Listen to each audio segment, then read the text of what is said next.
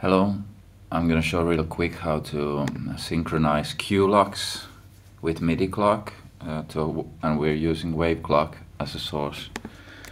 So Waveclock is your music tracker that does real-time audio to MIDI clock. Okay, we started Waveclock and CueLux. And on CueLux we just go to options and we select the IAC driver as the MIDI input. And if you don't have this here, uh, check out the description. I've linked a video how you enable it in OS X. And that's about all you need to do to have the MIDI clock. You make sure you have this checked and you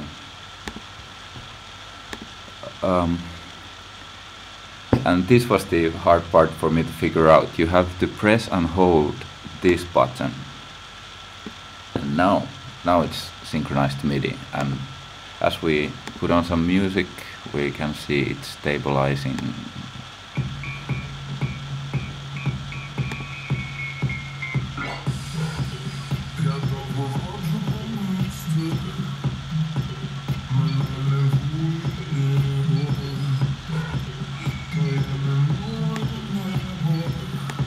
Alright, there you have it. It was easy as that.